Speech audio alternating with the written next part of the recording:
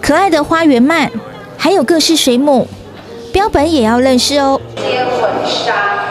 从不同的面向认识海洋生物，进而重视海洋议题，为环境保育而努力。金融商工航电科与资讯科配合环境部与海科馆推行的推动青年绿色旅游专案计划，带领学生进行绿色旅游，参访海科馆，造访绿色景点、环保餐厅，实践环保减碳的教育行程。符合政府的一个预期，那搭配就近的一个资源，其实是在地最好的一个福气。那也希望从这样的一个活动过程里面，那让学子们可以重新的认识环境，那让每一个环保的种子再重新萌芽。环境教育是将环境行动经验融入于学习活动中，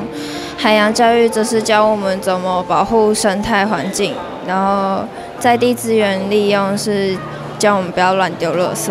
保护地球这方面，我觉得是可以提升大家人们对于环保这方面的意识。然后海洋教育的话，可以保护海洋生态的环境，减少塑胶的污染。